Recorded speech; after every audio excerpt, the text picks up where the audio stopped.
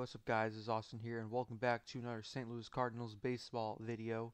So last night, July 28th, 2018, the Cardinals and the Yankees made a trade. It happened at like 10 p.m. and I, I, I just, you know, I decided I would do the video the next day. So it is currently July 29th, 2018. The Cardinals and the Yankees did make a trade. The Yankees have acquired Luke Voit and international signing bonus pool money from the Cardinals for relievers Chasen Shreve and Giovanny Gallegos or Gallegos. I think it's Gallegos. Not sure how to pronounce that, but um, yeah. So the Yankees, uh, two relievers that were on their 40-man roster. The Cardinals acquire and the Yankees acquire Luke Voit, who hasn't played too much in his career so far. He is 27. He's a first baseman. Doesn't really have room with the Cardinals, with Carpenter and Martinez, and we have a lot of guys who can play first base. It's not a position of need. Um, so here, here uh, we're going to go to Luke Voit for a second. So in his short career with the Cardinals, he has 125 at-bats, 20 runs, 30 hits, 5 homers, 21 RBIs, and a career 240 average. This year he hasn't done really anything. Um, in the minor leagues, he did have like a 300 average between Double A and Triple A. So Luke Voit, well, he'll be a nice addition for the Yankees. He's probably going to go to their Triple A team. Uh, the, the, sad part is about Voit. He is from St. Louis, so we are losing a St. Louisan. But yeah, Luke Voit, man, great player. I think the Yankees will enjoy him if he gets the call. I think he's got a better shot there than here, but he is getting blocked by Greg Bird, potentially Tyler Austin. But they can DH him. He can play left field if needed. He has played there a few times this year, I believe.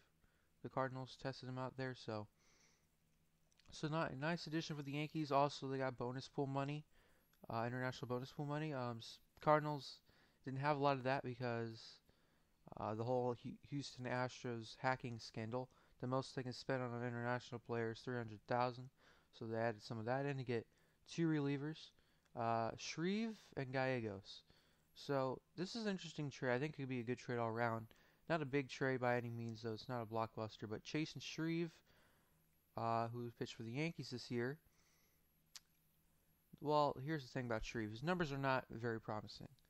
The one thing that really stands out to me from Shreve is the 46 strikeouts to his 38 innings pitched. So he is striking out an average of a guy in innings, so that's pretty good.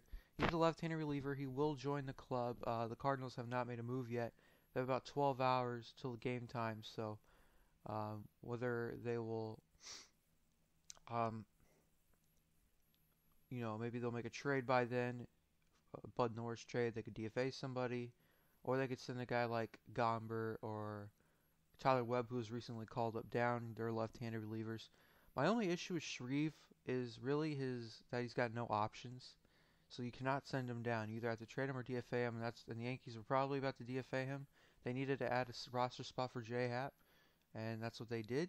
They traded Shreve. Um, and yeah, I mean, Shreve, Shreve's got decent career stats. You look at his career stats, he's got a good record. You know, he's a reliever, though. His ERA is a little under 4, not horrible.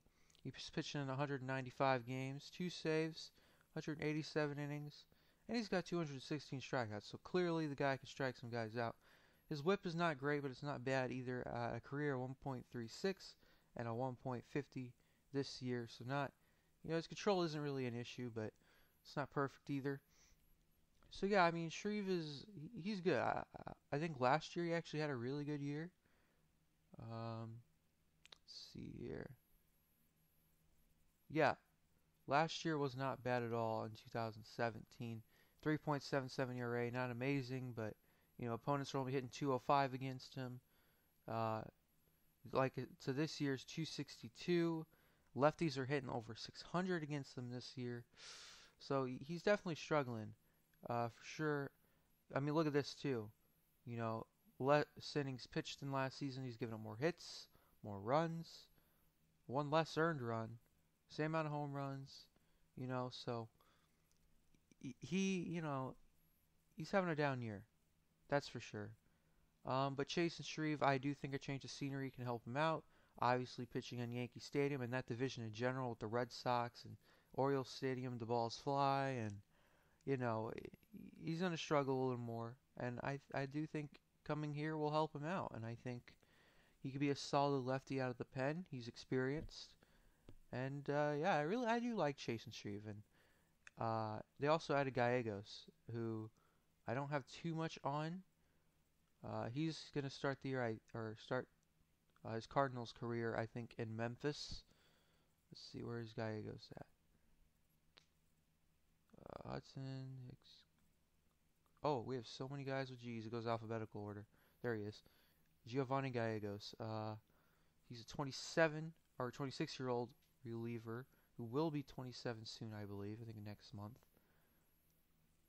Uh, yes, he'll be 17 or 27 August uh, 14th. So he hasn't had a long career. These are his career stats: 4.75 ERA, 20 games, one save, which I think was this season. Yeah, it was this. Oh yeah, this is right there. This season, 30 and a third innings pitched and 32 strikeouts. So he also seems to average about a strikeout an inning. So these guys are definitely some strikeout relievers. We don't really have any of those on the team, so that could be nice. Uh, Gallegos does have options, like I mentioned. He's going to AAA. So yeah, re-signed the minors.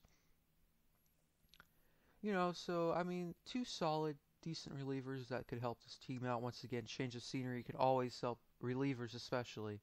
You know, if a reliever is not locked in on one team and they go to another team, they can be locked in, and that could be the reversal as well. Um, Chasen Shreve was emotional about getting traded to the Yanks. Uh, I'm Luke Voit is from here, so from St. Louis. I'm sure he was no, I'm sure he wasn't pleased to hear he was traded either. But I think it was a solid trade for both teams. I think it will be a win-win unless one of these three players involved ends up being a stud. I doubt it. I don't think Voit's really going to be anything huge, and I don't think either of these relievers will. I think Shreve is the biggest piece, even though Yankees were not Yankees fans were not the biggest fan of him. But yet again, they don't really need him. Uh, the last thing is these two relievers are controllable for at least a couple years. Shreve's got uh, control through at least 2020. Gallegos a year or two more than that, uh, and Luke Voit he had one up player option left. So I don't know. I think it was a good trade. I don't mind it as a Cardinal fan. It's nothing huge. Uh, I do want them to do something else. Obviously, I don't want them to stop here. They've made two minor trades. Uh, I do think Bud Norris is a possible guy who could leave. But yeah, revamp the bullpen, added some young guys in, internally, and now you add a couple guys externally. Shreve is the only one expected to make the major league roster uh, today, but yeah, uh, yeah, that's all I really have to say about this trade. Nothing uh, spectacular. This is actually a long video for one minor trade. But anyways, if you guys enjoyed this video, make sure to like, comment, and subscribe. And I'll probably update you on the next Cardinals move. See you then.